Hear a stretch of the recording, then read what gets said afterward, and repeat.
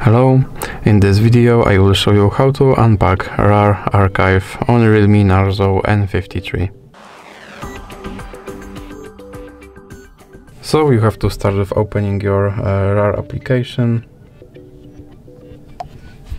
And now click dismiss and go to the folder that you have your archive stored in and open your archive. And now you have to click the button with uh, an arrow icon and here you can change some settings or you can just click OK and as you can see, your files have been extracted and they are all stored in this folder. So that is for this video. If you liked it, please remember to leave like and subscribe.